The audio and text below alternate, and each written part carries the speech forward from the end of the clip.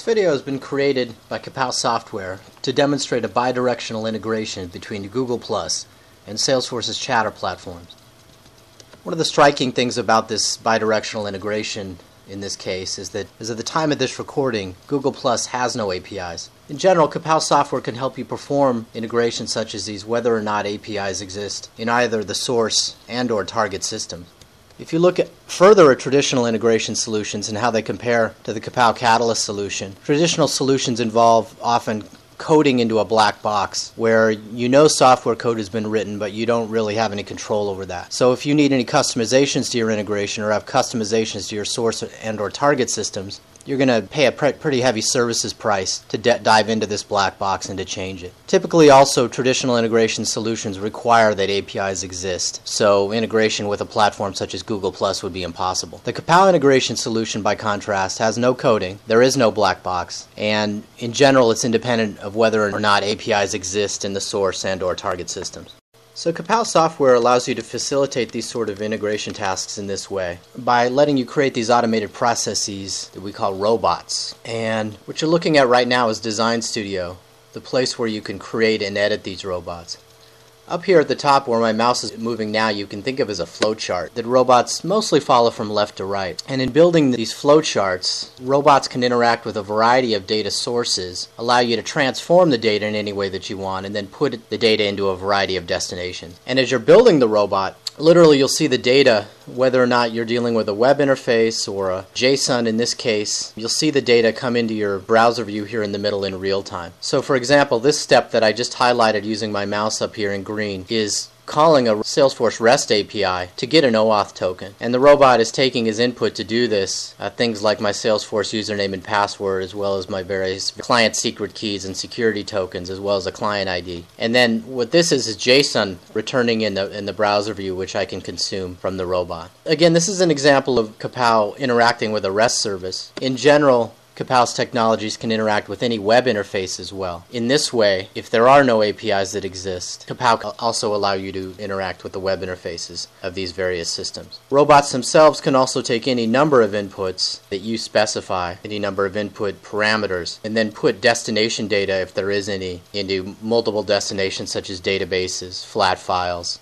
into FTP sites. These robots themselves can be consumed as REST web services in real time. Robots themselves can be called in real time as functions in Java or in .NET, and robots themselves also can be scheduled to run in batch mode through Kapow Software's management console. So getting to the results of the demo itself, if I go to a web browser where I have Salesforce Chatter. What I've done in Chatter is allowed me to use a hashtag that I call G+.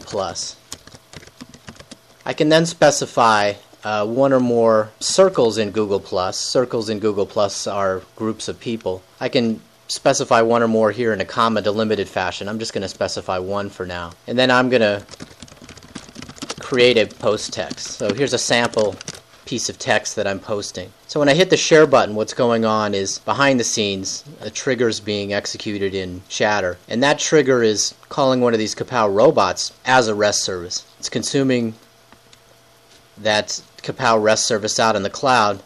Then if we switch over to Google Plus in the browser, if I refresh my Kapow circle, you see in real time the piece of text that I entered into Chatter appearing into Google Plus. It's really that easy to do in a robot, essentially to just create a workflow that's going to create this post in Google Plus. And again, impressively, there are no APIs to Google Plus. As somebody who's been trained to use the Kapow software, I'm able to create a robot that can do this kind of integration in a matter of you know 10 or 15 minutes.